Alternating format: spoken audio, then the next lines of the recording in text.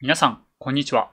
えー、世界選手権の第7ゲームですね。はい。えー、まあ、あの、前回のね、第6ゲームで、えー、カールセンがね、見事なゲームで、えー、日本西を下したわけですけれども、まあ、このね、戦勝された日本西が、あの、白番でどの程度勝ちに行くかっていうところが、まあ、あの、今回ね、注目されたポイントなんじゃないかなと思います。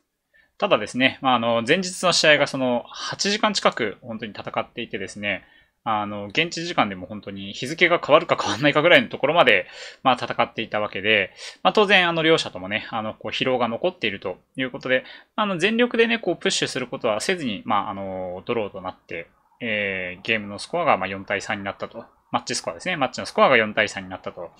いうような流れになってます。はい。えー、まあ日本西としてはね、あの、まあ、これで前半戦折り返しまして、え、ー、と、残り3試合ですね、えー、白番が残っていますので、まあ、あの、1本返すためにこのね、3回の白番うまく使いたいというところで、まあ、このね、勝てるラインの布石を探すための、あのー、第7ゲームだったんじゃないかなというふうには思いますが、まあ、あの、このそのゲームでね、まあ、お互いどういうふうに、あの、手の内をね、こう探ったかっていうところを、まあ、ちょっとね、解説していければと思います。はい。それでは、えー、一緒にね、ゲームを見ていくことにしましょう。さて、えー、この第7ゲームではですね、えー、まあ今までの、えー、日本西がね、シルバンのゲームと同じように、あの、ルイ・ロペスのアンチマーシャルのね、え、バリエーションに入っていきましたね。はい。まあこれが一応、え、このマッチのね、え日本西のまあメインウェポンということになるんじゃないかなと思います。まあそれはね、カールセンも同様で、え、まあ、あの、日本西が手を変えてこない限りは、まあこれでいこうということかもしれませんね。はい。お互いにまあ黒でね、あの、シシリアンもレパートリーに入ってるプレイヤーなんですけれども、まあここまでね、ちょっとシリアンが一曲も見れてないのは ちょっと意外かなという気がしますね。はい。A4 と、はい。まあ再びね、アンチマーシャルのメインラインに、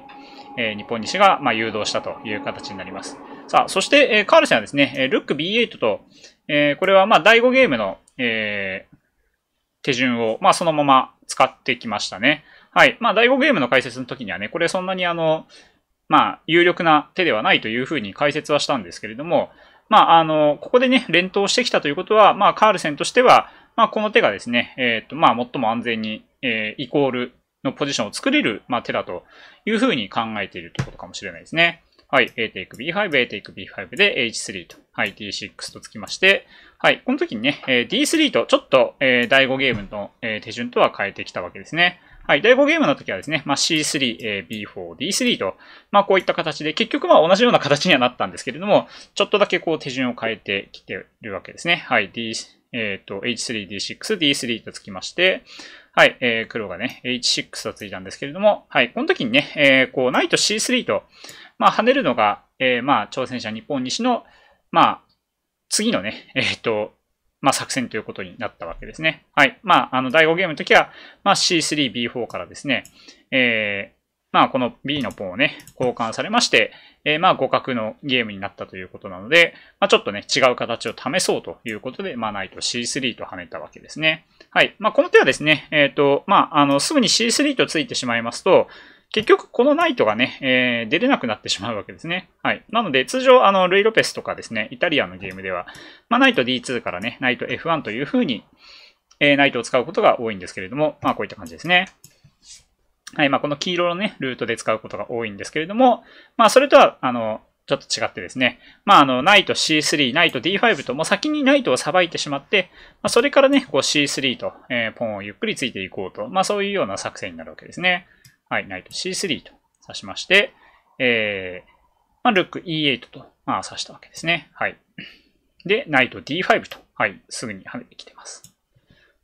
まあ、これがね、えっ、と、まあ、日本西が、えー、この第7ゲームに向けて、まあ、用意してきた手順ということですね。はい。まあ、このラインでどこまでね、ちょっと勝ちに行きたかったかっていうのは、まあ、ちょっと想像するしかないんですけれども、まあ、もしかしたらね、日本西も、まあ、これに、あの、アンチマーシャルに対して、まあ、ルック B8 っていうところがね、あの、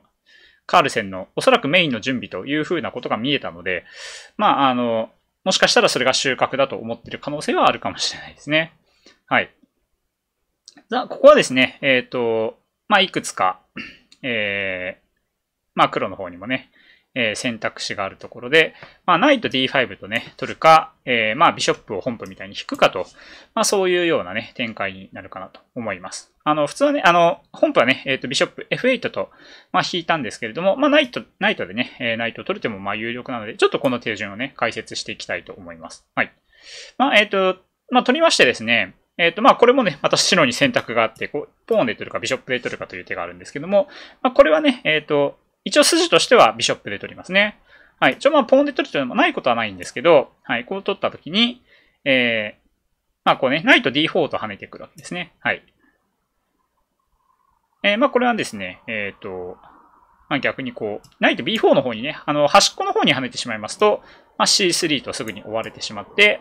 えー、これでね、D4 と疲れた時に、やっぱりこの端っこのね、ナイトがちょっと、えー、使いづらいということで、まあ、なるべくね、ナイトは端に行くよりも、こう、センターに行くっていう方、ね、えー、重視してもらえるといいかなと思います。はい、ナイト D4 と跳ねまして、え、まあ、と、え、まあ、取ってですね、まあ、取り返しまして、まあ、こういう局面を迎えてみるとですね、まあ、白の、え、ビショップがですね、自分のポンによってこう止められてしまっている状況になっているわけですね。はい。まあ、一応それはね、黒もま同じ条件ではあるんですけども、あの、まあ、そうするとね、こう、せっかく一手早い白なので攻めたかったわけなんですけれども、まあ、お互いにこう、あんまり攻められない状態になってしまうということで、まあ、これはね、どちらかというと黒の方に不満がない展開なんじゃないかなと思います。はい。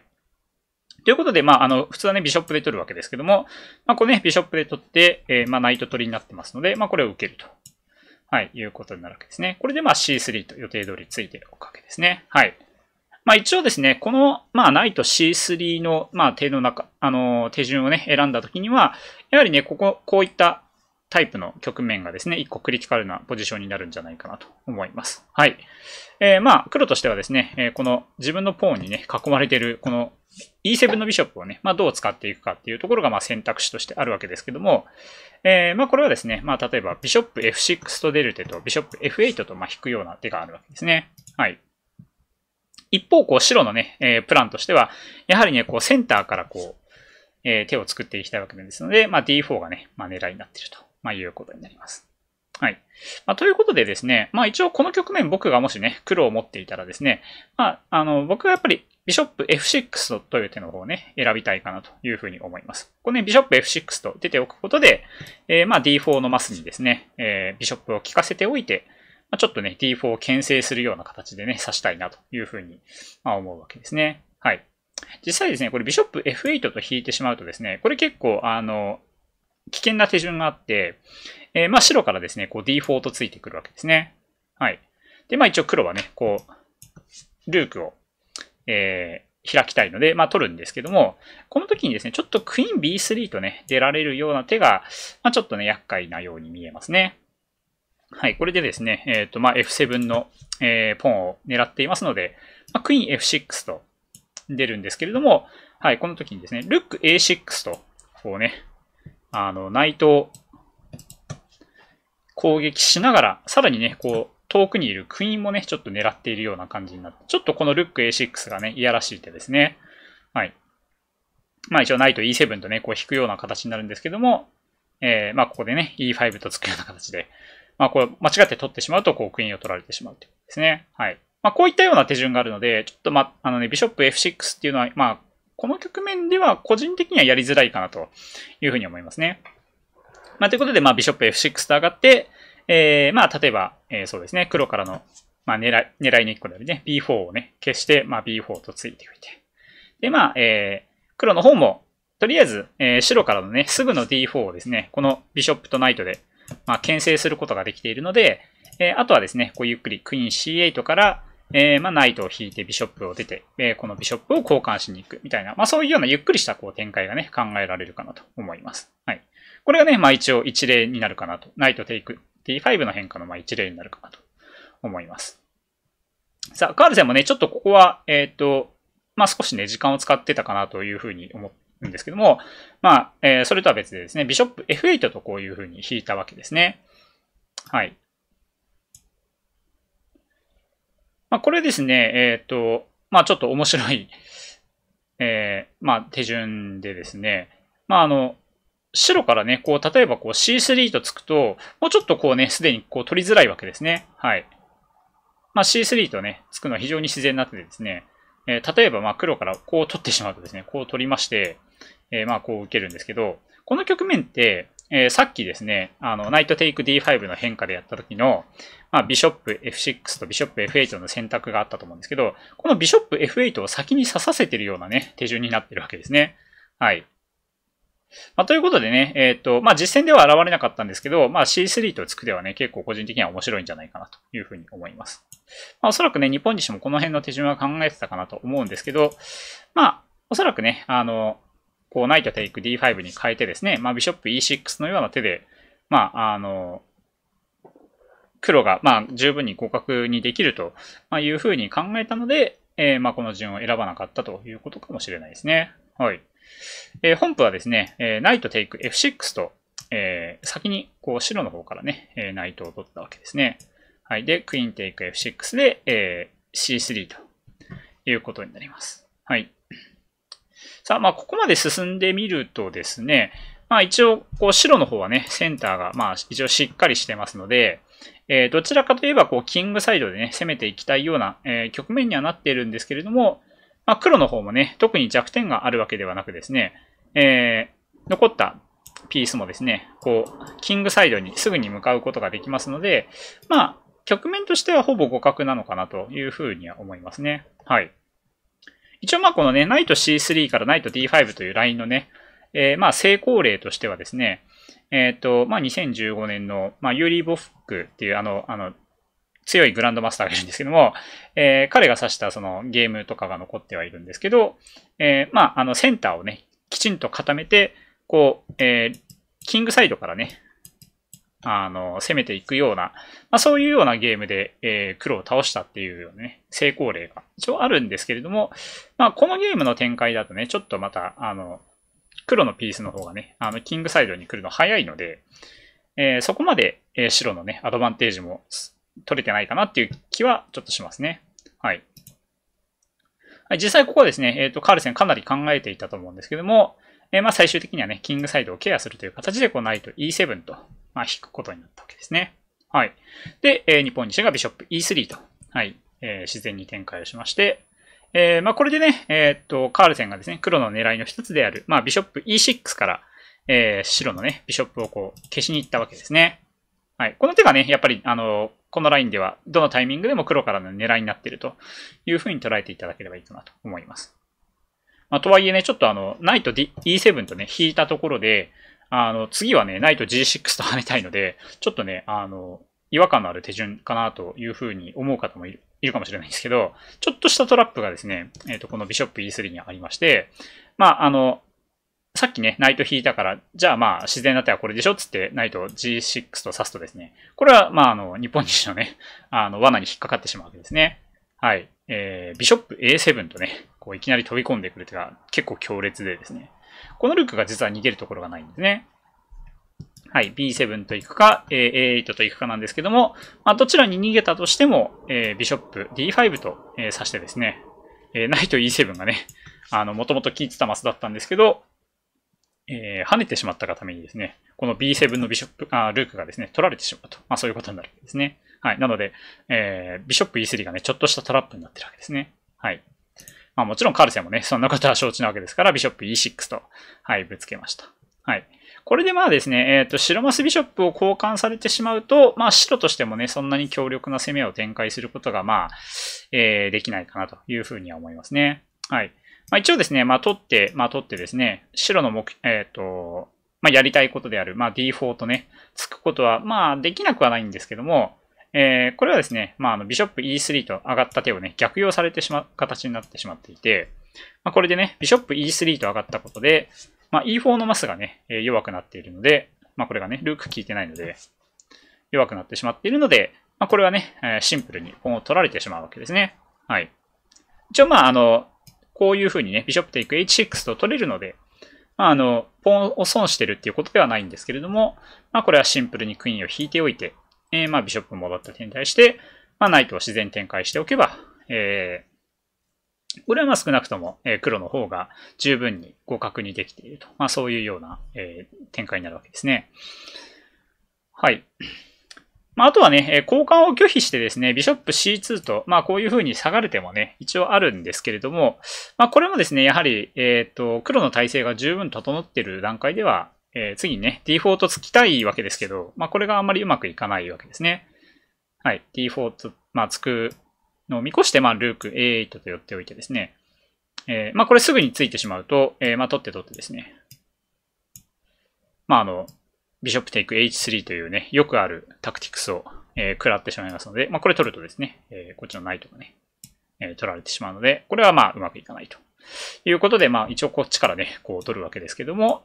えー、まあ、これ D4 に対して、まあ、ナイト G6 と、一応センターを支えておけば、まあ、これは、えー、白の攻めもそんなにはっきりしてない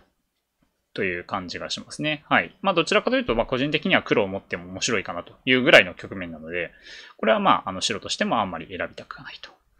いうことになります。はい。えー、ということで、えっ、ー、と、日本にしてはですね、シンプルにこう、えー、D4 と、ついたわけですね。はい。えー、カルセの方は、えー、こちらもシンプルに、まあ、E テイク D4 と、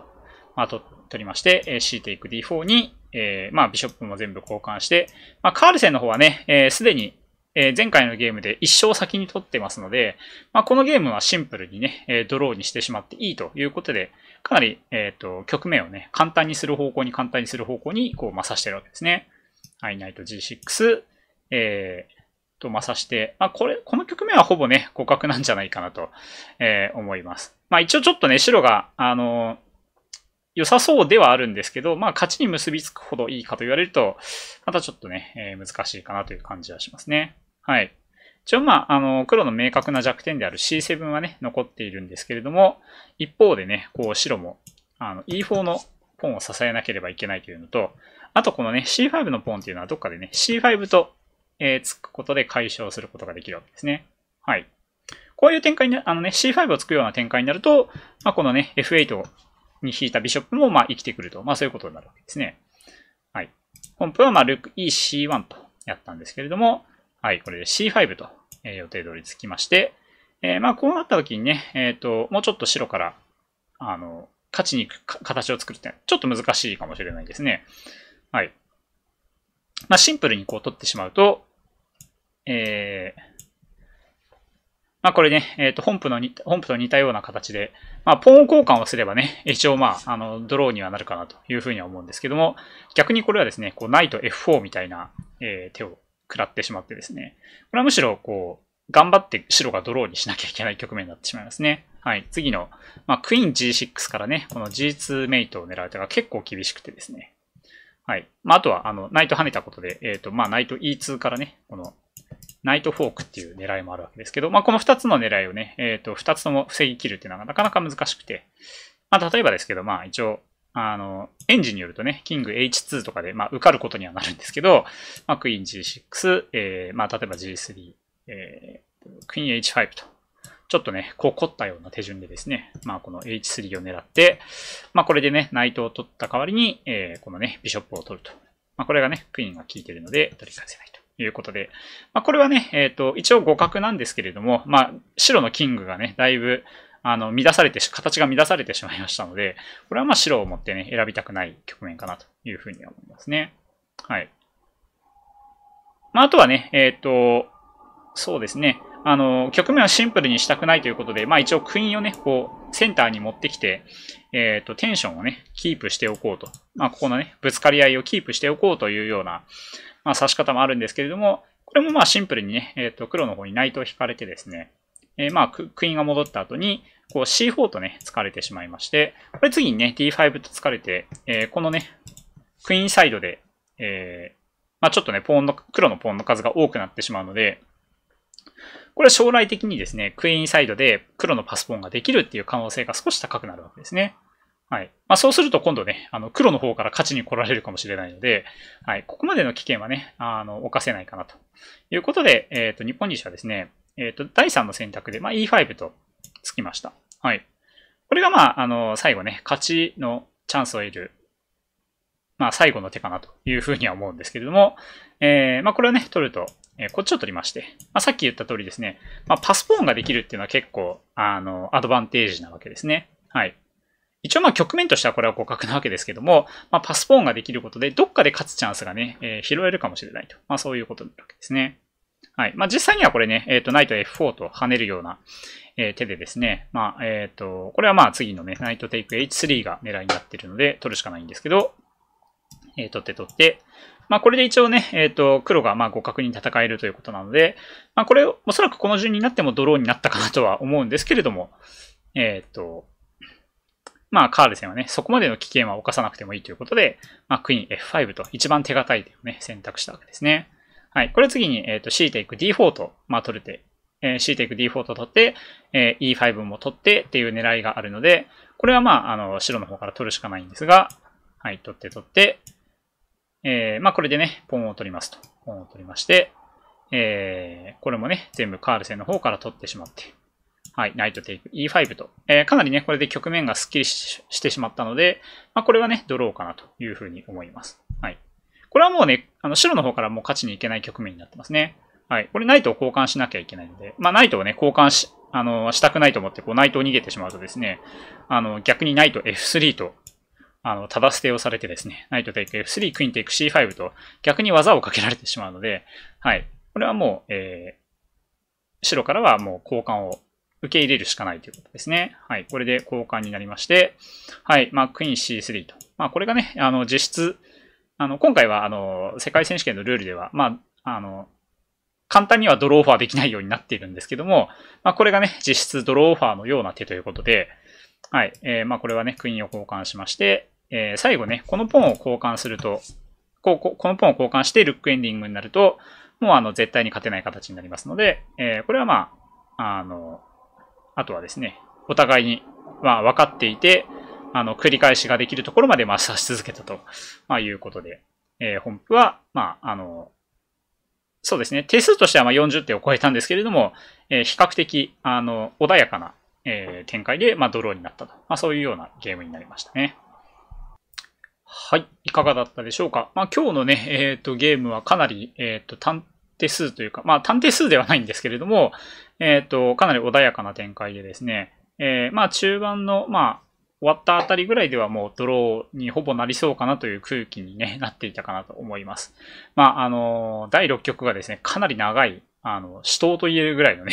あの、戦いだったので、まあ、お互いに、えっ、と、体力もあんまり残っていなかったということで、そこまでね、えっ、ー、と、強くプッシュするような、あの、ことはお互いにしなかったんじゃないかなというふうに思っています。はい。さあ、えっ、ー、と、一応今日、これでですね、えっ、ー、と、前半戦が終わりまして、えー、次からま後半戦になっていくという形になります。えまずね、えっ、と、休息日を、レストデイをね、一回挟みますので、まあ、お互いにね、ここで体力を回復して、え特に戦勝された日本西ですね。日本西が、えっ、と、まあ、カールセンに対して、えっ、と、後半戦で、まあ、少なくとも一勝しなければならないということになっているわけなので、まあ、カールセン、ここまでね、黒でかなり手堅く、えー、ドローを取っているカールセンに対して、えー、勝てる、え、準備をしていかなきゃいけないというところで、まあ、そのあたりのね、日本西の作戦があの非常に注目されるところかなと思います。はい。まあ、カールセンの方はね、えっ、ー、と、基本的には、あと全部ドローでも、まあ、あの、マッチを勝てるので、あの、そこまで無理はしてこないとは思うんですけれども、まあ、やはりね、性格的には、あの、どっかでね、もう一回、あの、勝ちに来るっていうことがあるんじゃないかなと僕は思っていますので、えー、まあ、ぜひね、あの、そのあたりの、あの、駆け引きもね、えー、注目しながら、えー、後半戦も楽しみに見ていっていただければと思います。はい。後半戦もね、引き続き、あの、時間が許す限りこういうふうにね、解説動画を撮ってあげていこうかなと、えー、思いますので、えー、ぜひチャンネル登録、高評価、え、それからコメントの方で応援していただければと思います。はい。それでは、え、今日の動画は以上にしたいと思います。え、ありがとうございました。